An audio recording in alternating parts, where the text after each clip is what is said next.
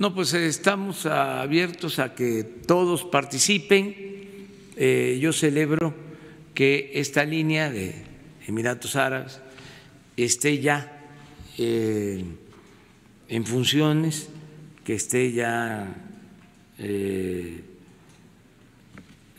autorizada para este, volar. Ya tiene además acuerdos con una empresa aérea mexicana y eh, esto ayuda mucho.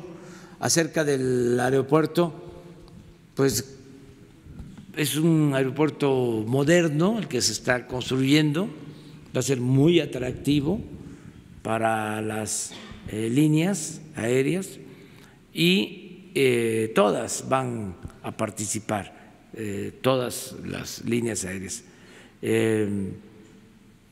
lo que decíamos es que se mantengan las líneas aéreas y que si se puede cada vez haya más para que eh, haya competencia y bajen los precios.